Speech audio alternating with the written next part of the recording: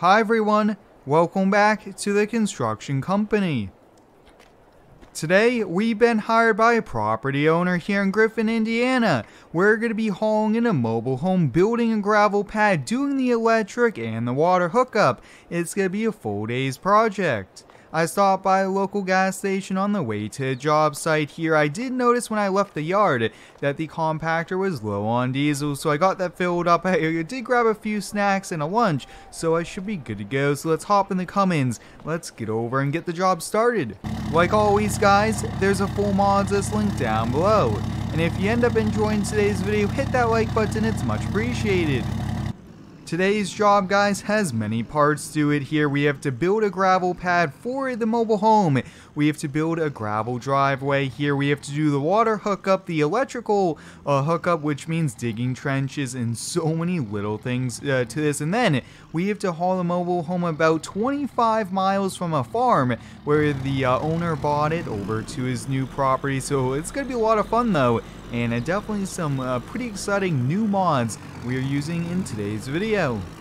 Alright, we're coming up on the job site here. It's this half acre lot in town here. Luckily, uh, the gas station wasn't too, too far uh, from here. Why don't we get parked up here? I do want to get those ramps lowered here. Definitely want to get the hazard lights going since I'm going to be parked in the street. But let's take a quick job walk around.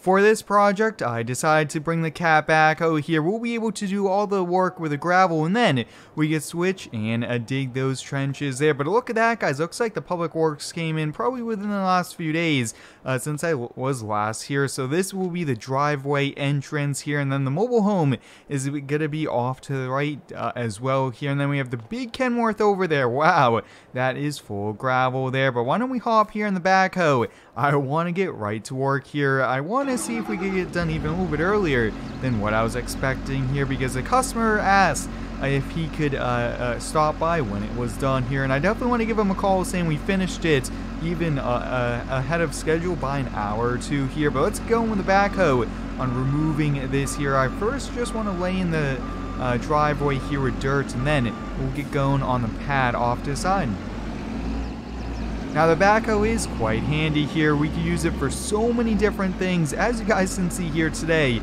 And uh, this is going to work well for us. It might be a little bit on the bigger side, maybe a little bit smaller backhoe, uh, but this will get the job done here for us. And we have several construction projects coming up as well on the schedule, which I'm super excited for.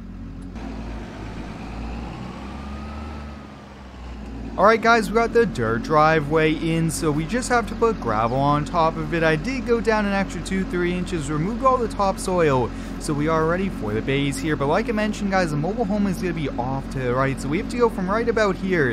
It is about 20 feet wide here, so let's just count the uh, steps with my boot, which is just about a foot. So right about here, and then it's going to be 55 feet here. It's a pretty big pad. We need to make sure it is very strong here. We don't want the mobile home uh, shifting uh, because that could cause cracking to the walls and structural damage, which would not be a good thing here. But let's get going on this because this is going to be most of the work, even the excavation parts here. Let's keep going. Yeah, this is perfect here. Maybe having teeth on the buckets would have helped out made it a little faster here, but hey, we got to make do with what we have.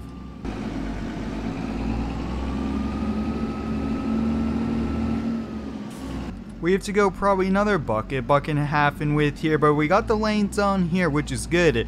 I'm just trying to make sure we don't go too far while doing enough uh, to make sure it's a nice strong base here. Now the customer did ask us to keep all the topsoil on the job site, uh, so I'm just putting it off to the side here because it looks like he'll be using it at another one of his properties here. I'm not sure what he's going to do with this, but this is super exciting to get mobile homes here in FS22.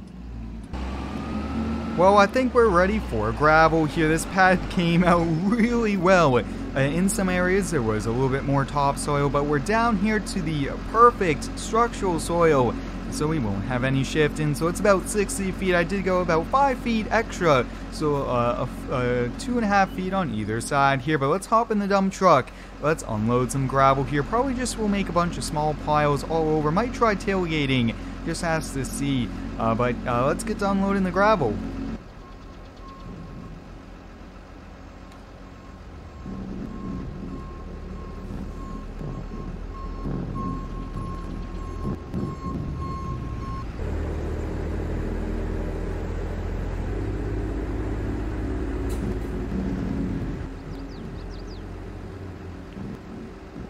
Guys, I think I unloaded a little bit too much there, but hey, we have the backhoe. It will just be a little bit more work uh, to go here, but you guys can see we have about two piles. Uh, but where we need the gravel the most, I guess we do have the big pile here, so no need to worry there. And like I mentioned, this backhoe has a pretty big bucket here, but there's a lot of gravel work that has to be done here. We have to go over it with a compactor, and this is probably going to be an hour or two's uh, worth of work here, but we have to do it right. And that way, uh, we don't have any problems going down the road, and the customer uh, has a nice uh, pad for his mobile home. But you guys can see this is gravel mixed with a little bit of stone dust here to give it that extra structural support, uh, which this is actually what they use for building roads here. So I thought this would be perfect for the customer, and uh, this was also uh, what he uh, uh, agreed to when I did discuss all the different gravels we can use here. But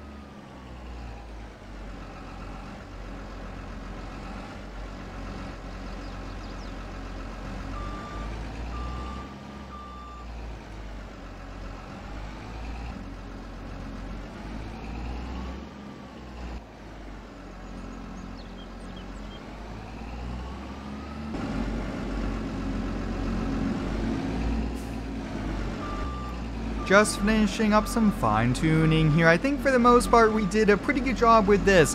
Why don't we move the backhoe off to side here? The last thing we have to do before we could bring in the mobile home is just to run it over with the plate compactor just to smooth it out and have it nice and compact. Working with the construction company is a lot of fun here. We get to use some pretty neat equipment just like this one here. And uh, most of these projects are quite big here, but you guys can see we are definitely compacting it out here, moving some material, which is definitely a good thing here. I want it nice and level and uh, nice and compact as well. But wow, guys, this is going to be awesome here. So uh, let's see here, just a few more passes. This compactor with the two rollers is really mainly for asphalt paving, which we do quite a lot of. And I actually have a job or two coming up there, so we'll be doing some of that soon here. There's just so many different jobs you do uh, with a construction company, and sometimes I don't record all the jobs I do, since uh, I do play this uh, game quite a bit off camera. But there we have it, guys. I think that's all the compacting, and wow, that turned out good here. So why don't we move this off to the side? I'm actually going to get one of my employees to drop me off there to pick up the truck, and uh, we'll meet you at the farm with the mobile home.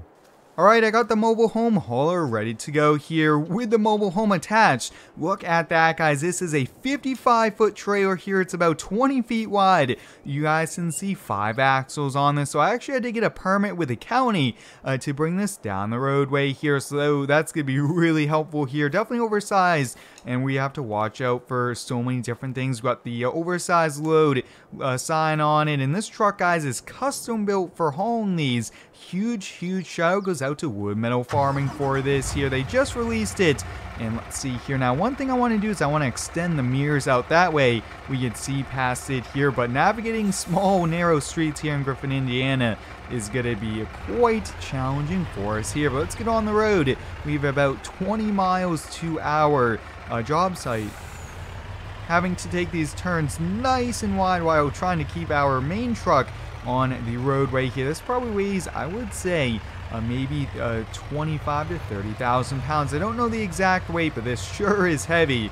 And wow, look at that, over the double yellow. And I'm just trying to also make sure we don't end up taking out any telephone poles or anything like that. We're going through the main part of town here. I'm actually almost in the center of the roadway here. I don't see any traffic, which is a good thing. But guys, we would be really close to even some of these mailboxes, and I don't want to be replacing quite a few of those.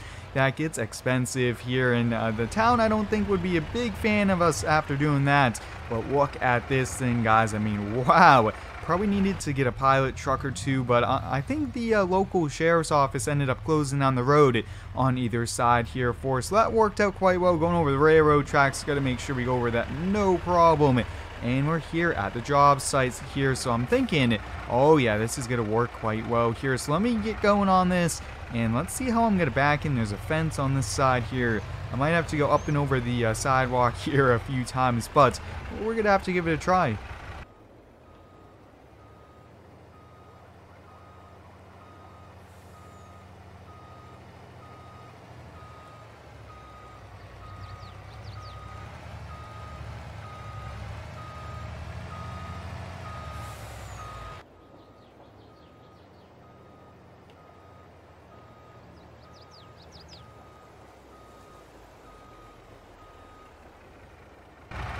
Alright, let's pull forward just a little bit so the uh, front door is right at the driveway there. Awesome, we'll get the uh, legs out here, the skirts on the trailer, and we'll get it disconnected here. But guys, that was probably the biggest trailer I've ever hauled here, which was quite a bit of fun here. Now, a few things here with this truck that you guys might have seen there in that video is I could actually slide this back and forth, which really helped out with maneuvering this trailer here, especially here, but you guys can see not too much damage here, just some tire tracks from going up on the curb there, but there we have it guys, we got this in place here, look at how nice this driveway is, wow, that turned out so well, I'm super excited for that here, but guys, I think I'm probably going to call it a day here, I'm running low on camera battery, and I do need to finish up, so I have to hop in the cats here, use a backhoe, and uh, dig in the electrical uh, wire here, I think it's from this side here, yeah, it's a box back there, and then we have to bring the water to the road over here. So let me get going on that. So until next time, guys, thanks for watching. Stay tuned for next one and subscribe for more.